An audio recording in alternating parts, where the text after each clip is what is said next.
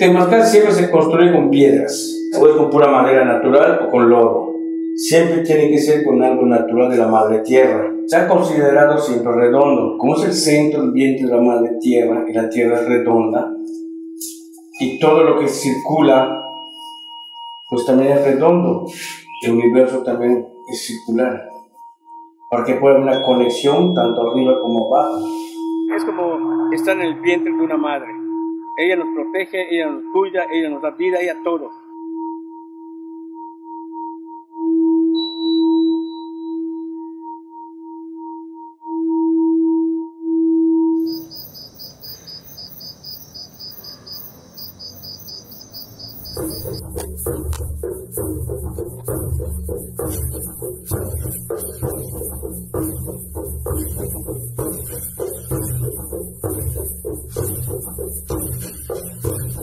En nombre de sacerdote guía espiritual Yashkin, nacido por el Tamek.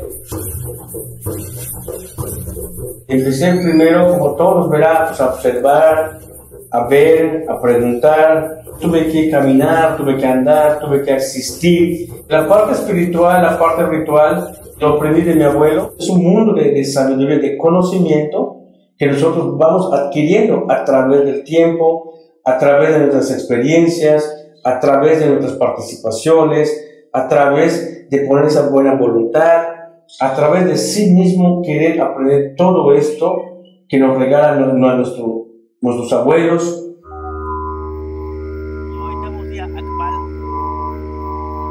Significa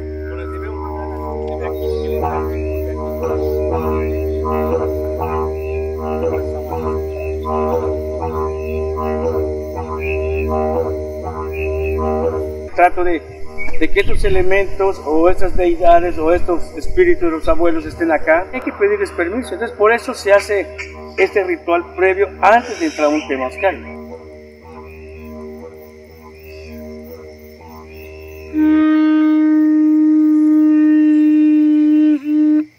Yo lo trato de realizar lo más, lo más apegado que se pueda a nuestras costumbres, a nuestras tradiciones, nuestra cultura, como lo hacían nuestros antepasados, nuestros abuelos. Yo así vi que lo hagan, así veo que lo hacen, y es lo que yo aprendí de cómo llevar a cabo un ritual antes de previo de un temazcal para estar dentro del vientre de la madre tierra. Es pequeño ritual de la madre tierra, cómo hace entrar el vientre de la madre tierra.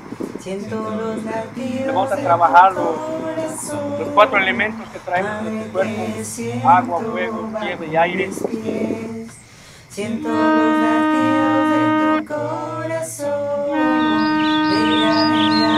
Se saluda a los cuatro puntos cardinales, al norte, al sur, al oriente al poniente, al centro, arriba y abajo. Para esa, esos espíritus de los abuelos puedan llegar y concedernos ellos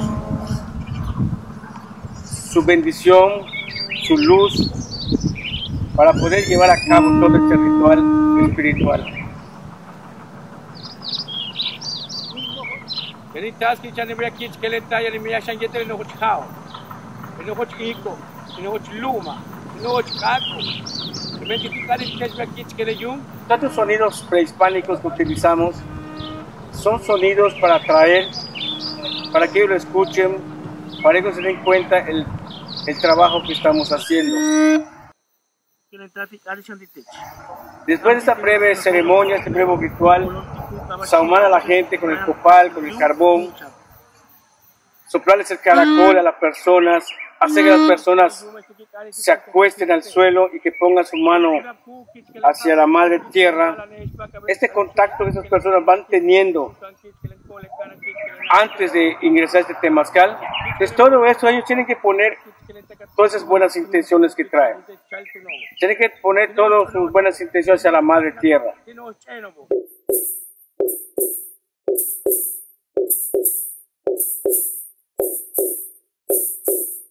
Todo eso hace una armonización dentro de uno mismo. Entonces, cuando entres al vientre de la madre tierra, que es el temazcal, entonces ya no entres con temor, ya no entres con miedo, entres con nada, entres con esas buenas disposiciones para recibir toda esta fuerza, toda esta energía.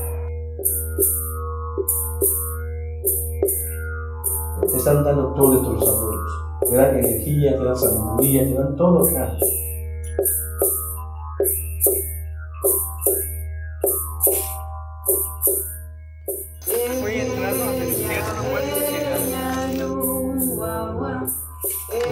Pasa nada. Cierra tus ojos y está despierta la mano izquierda. Cierra la mano izquierda.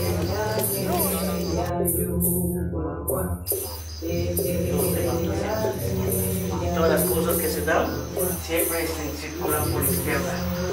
Yo paso por ejemplo esta jícara, siempre se por allá. Adentro de un temazcal se maneja mucha energía. Se maneja energía de la gente y ese balance de la gente tienes que saber cómo controlarlo, cómo llevarlo. El balance de, de las piedras, también saber cuántas piedras puedes meter, cuántas piedras no. El calor, el agua que le estás poniendo o las aguas problemáticas que les pones, tienes que saber también esa medida. Abuelita sagrada, caliente, este temazcal.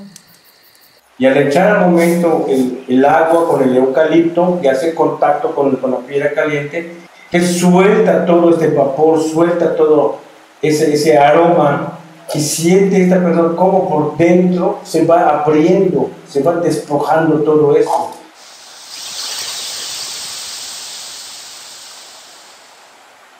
Acá se viene a disfrutar, a limpiarse, a sentirse bien. Es un proceso de donde uno mismo empieza ya a, a trabajar con su espíritu, con su energía, un proceso de limpieza. ¿Qué es lo que tú le vas a ofrecer a la Madre Tierra? ¿O qué tú le vas a pedir a la Madre Tierra? Hay personas que están trabajando todo este proceso consigo mismo y de momento se sueltan a llorar. Están sacando todas estas cosas negativas. Hay gente que logra vislumbrar cosas adentro, colores, por ejemplo, águilas, aves, cosas que se dan adentro de un temazcal, ¿no? Hay gente que cuando ven esto se asustan, se les da miedo.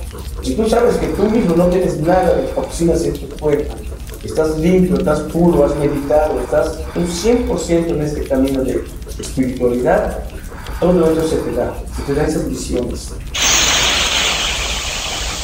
Y cuando salimos, yo siempre le digo a la gente de que toque siempre la madre tierra con tu mano derecha y la mano izquierda encima. Y digo, in la edge, y la gente que está viendo el tema ya contesta en ellas al Significa, yo soy tú y tú eres yo. Nacemos nuevamente, pero espiritualmente, con un cambio dentro de ti, con una sensación muy diferente. Sabemos que este caracol tiene vida, tiene espíritu.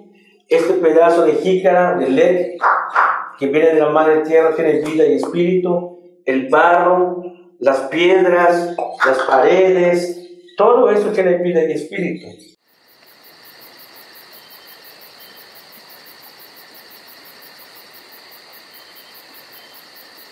Si todo esto se hubiera acabado en la conquista, no estuviéramos platicando de esto.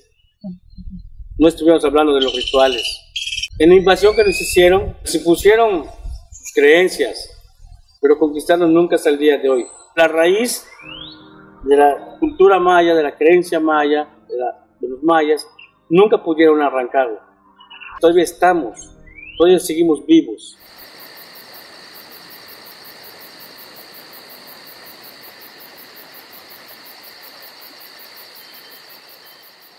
Es parte de la cultura, es parte de la costumbre, es parte de la tradición del pueblo.